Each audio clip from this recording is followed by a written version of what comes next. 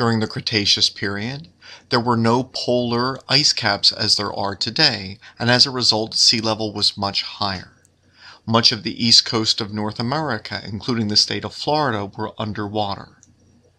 A great seaway existed which connected the Arctic Ocean to the southern Atlantic across the middle of North America.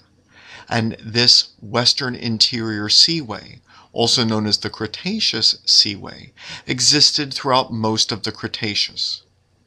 A number of marine reptiles, such as plesiosaurs and mosasaurs, could be found here, as well as diving birds such as Hesperornis and large pterosaurs such as Pteranodon. At some points, it became anoxic and ultimately closed so that it was no longer a continuous seaway.